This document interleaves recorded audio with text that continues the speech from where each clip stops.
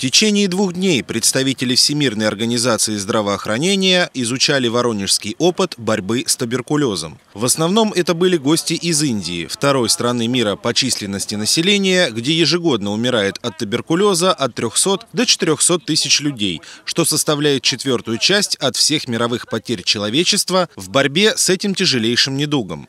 Последние пять лет достижения Воронежской области по профилактике и лечению туберкулеза были замечены не только в России, но и у зарубежных коллег. А главный врач Воронежского областного клинического противотуберкулезного диспансера имени Пахвисневой Сергей Корниенко не раз выступал с высоких трибун на международных симпозиумах и семинарах. Because in India the prevalence is somewhat similar um, as you have as you had I think 10 years back it is about uh, 205 per 100,000 population so I think uh, from what you had actually showed we also hope to uh, achieve that. Мне очень понравился один из последних слайдов, на котором вы показывали данные по распространенности туберкулеза. И я заметила, что ситуация, которая отмечалась в начале 2000-х годов, когда распространенность достигала 200 с чем-то на 100 тысяч населения, это практически то же самое, что сейчас есть у нас. И тот факт, что вы смогли так серьезно изменить эту ситуацию, переломив ее к лучшему, дает нам надежду на то, что мы сможем сделать то же самое и у нас в стране. Спасибо. Thank you. Представителей Индии особенно интересовали подробности организации работы противотуберкулезной службы Воронежской области в сфере контроля и борьбы с опаснейшим заболеванием. Скажите, пожалуйста, вы отметили, что э, у вас в области проводится активное выявление случаев э, с помощью флюорографического обследования. Вы сказали, что 85% населения охвачено таким... С 15-летнего возраста. Да, э, охвачено таким видом э, скрининга. А скажите, пожалуйста, как вы это делаете? Это какие-то выездные бригады выезжают по населенным пунктам или как организован процесс? Последние 30-40 лет в России является как бы своего рода традиционным.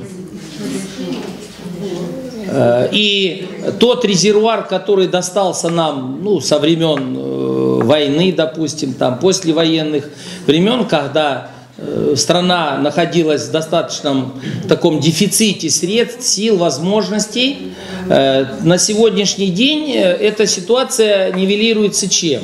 Значит, в каждом лечебном учреждении, общей лечебной сети установлена программа, конкретная программа мониторинга, и все те люди, которые проходят ежедневно флюоросмотр в поликлинике ли, участвуют в массовых осмотрах на туберкулез, который осуществляется в сельской местности больше.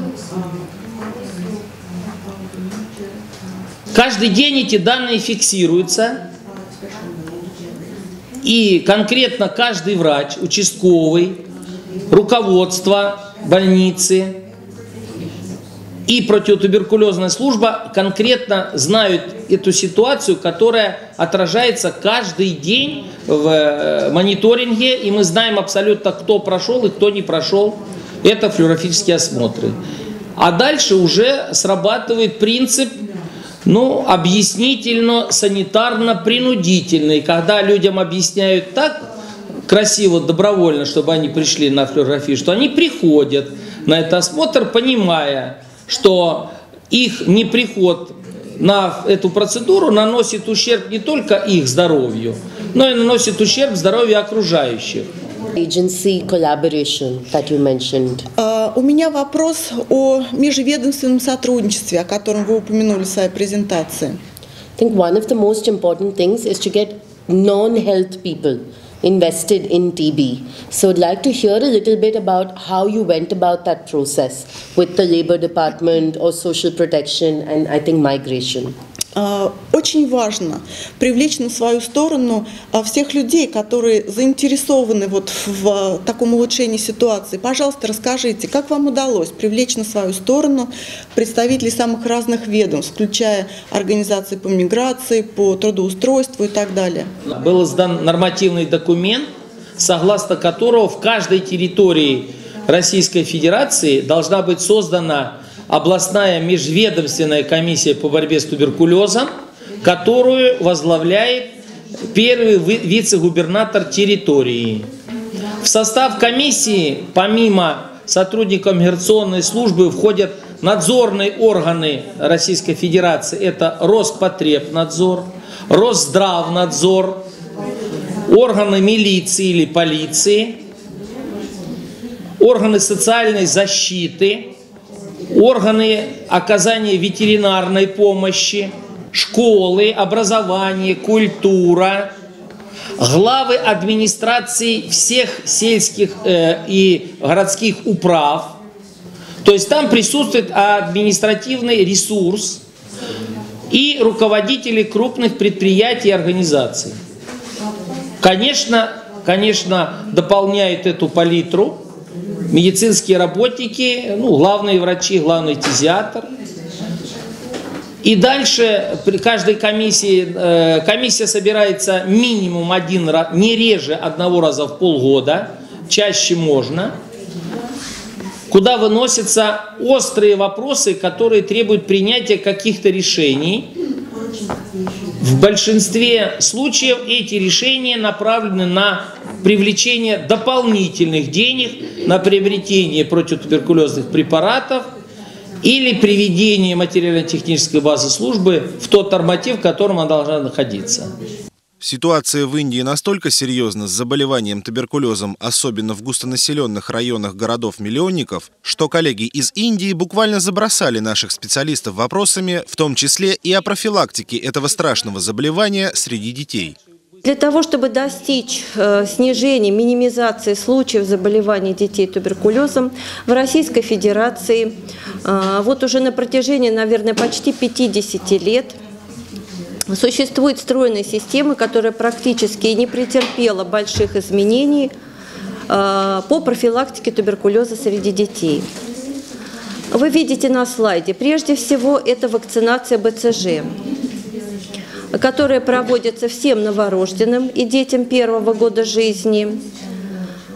И второй раз мы э, ревакцинируем неинфицированных в возрасте 6-7 лет.